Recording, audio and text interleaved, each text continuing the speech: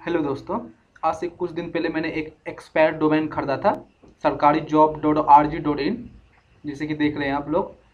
तो वो मैंने गूगल सर्च कंसोल में सबमिट करने के दो दिन बाद उनको ये मैसेज आया है। सर्विस एरर फाइव एक्सेस का, समझे? इसमें चार पेज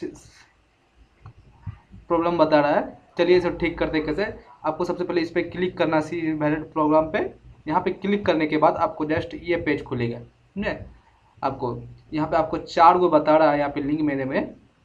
यदि आपका ये प्रॉब्लम है तो किस तरह ठीक कीजिएगा, चलिए हम बताते हैं, समझे?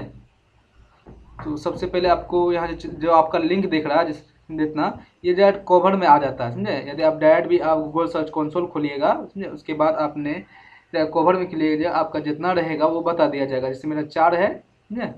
चलिए हम बताते हैं ये प्रॉब्लम कैसे ठीक करना है। आपको सबसे पहले कॉपी कर लेना है, समझे? देखिए यहाँ पर जैसे आइएगा समझे एक कॉपी लिखा ना copy U R L to यहाँ पे उस पर क्लिक कीजिए, वो कॉपी हो गया। उसके बाद ये रिमूव में आना है। समझे? यहीं पे। यहाँ सबसे पहले आपको यहाँ टेम्पोरी रिमूव है, इसी पे रहने देना है। इसके न्यू रिक्वेस्ट पे क्लिक करना है।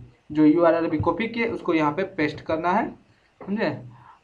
Remove this U R L only बस इसी पे रहने देना है। और आपको यहाँ पे नेक्स्ट पे क्लिक करना है। रिक्वेस्ट सबमिट रिक्वेस्ट पे क्लिक कर देना। आपका एक हो गया, उसी तरह करके आपको चारों पे ये करना पड़ेगा। फिर से कवर पे आते हैं।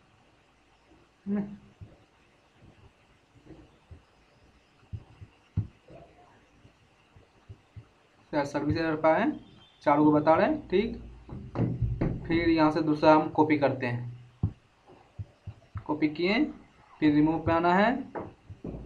फिर न्यू रिक्वेस्ट आना है। फिर ये को पेस्ट करना है, फिर सबमिट नेक्स्ट करना है, फिर सबमिट रिक्वेस्ट पे क्लिक करना है। फिर से मुझे उसी पे आना होगा। ये सब है क्या? आखिर पुराना जो मेरे, जो एक्सपायर ये डोमेन है, था, ये पहले से गूगल सर्च कंसोल पे ये सबमिट था। और जो जो यूआरएल इसका रैंक किया था, वही सब URL है। जो अभी इसका पेज नहीं है, लेकिन इसको हटाना होगा। इसलिए हटा रहे हैं ये रिमूव कर रहे हैं इसको हटा रहे हैं। सर फिर आना होगा न्यू रिक्वेस्ट पे फिर यहाँ पे क्लिक करना होगा फिर सबमिट रिक्वेस्ट पे क्लिक कीजिए। तीन हो चुके और एक बचे हैं मेरा। आपका जितना है आपको सब एक एक करके आपको सबको हटाना होगा। नीचे आते हैं कॉपी किए रिमोट में। यहाँ पे क्लिक करके सबमिट करते हैं। आपका आपको सब कर लिए। अब ये करने के बाद आपको एक सौ दो दिन के अंदर में आपको मैसेज आएगी कि आपका ये प्रॉब्लम ये सॉल्व हो चुकी है। सर्विस एरर फाइव एक्सेस का समझे? और जो जो भी करना चाहते थे वो इसी तरह कर सकते हैं। आ, मैंने तो ये न्यू डोमेन ही एक्सपायर डोमेन खरीदा था हाल ही में।